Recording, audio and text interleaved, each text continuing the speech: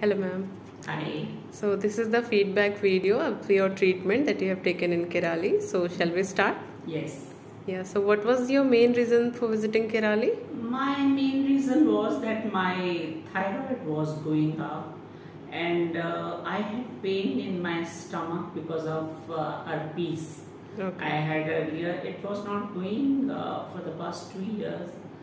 Uh, so when I took the treatment, I mean uh, this Nasyam treatment, it really uh, you know suited me and uh, I was little relaxed in my pain and my thyroid also came down from 70 to 57.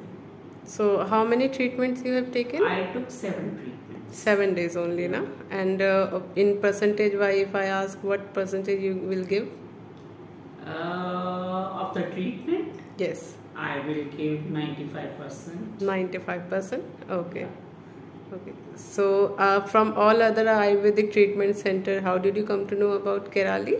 Kairali I know because I know Pavan uh, and Acha. I keep meeting him in the travel marts Uh-huh. because I am from the tourism industry. Okay. So I know about Kairali and as it is Kairali is a very famous institution so I thought instead of going here and there I should come straight away here because you have very good doctors also. Okay, thank you. And uh, would you recommend Kairali to any of your friend or family? Yes, I will. Yeah. thank you so much for your feedback, ma'am. Yes.